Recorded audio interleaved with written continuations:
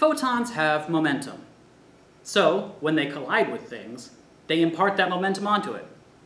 That's basic conservation of momentum.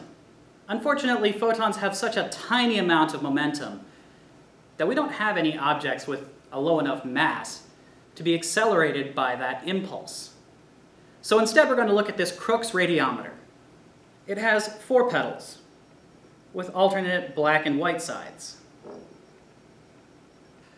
Black, you might recall, is a color that absorbs light. While light doesn't have enough momentum to accelerate anything, it does have enough energy to heat things up. What we'll see is the black side of these petals heats up more than the white side, which causes the air around it to expand. If the air next to the black side expands, and the air next to the white side doesn't, the black side is going to be pushed forward.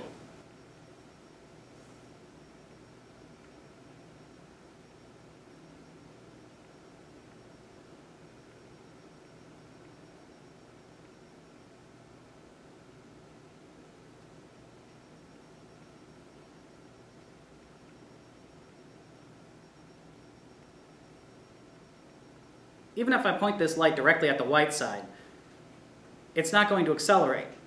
It's just going to slow down because it's not pointing at the black side.